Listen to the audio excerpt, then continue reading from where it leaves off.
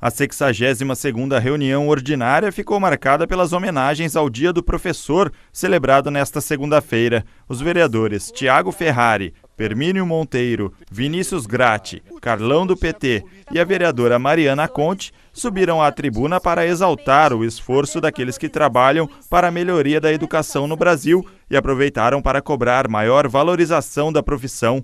O vereador Paulo Haddad, que lecionou na universidade, lembrou da importância do professor na vida dos cidadãos. Eu sei da, da importância daquilo que nós, professores, podemos fazer para que a sociedade seja melhor, mais inclusiva, mais paritária, enfim, né, todos os ensinamentos, não só na informação, mas na formação do caráter das pessoas. Presidente da Comissão de Educação e Esportes da Câmara, o vereador Antônio Flores, também exaltou o papel que o educador desempenha na sociedade. Professores, sem vocês nós não seríamos nada.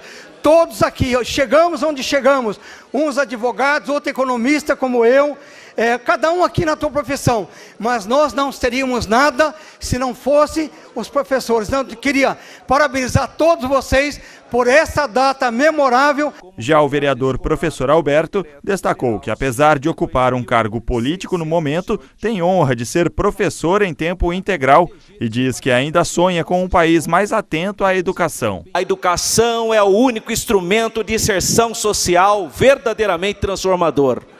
As demais coisas são quase que é, acessórios.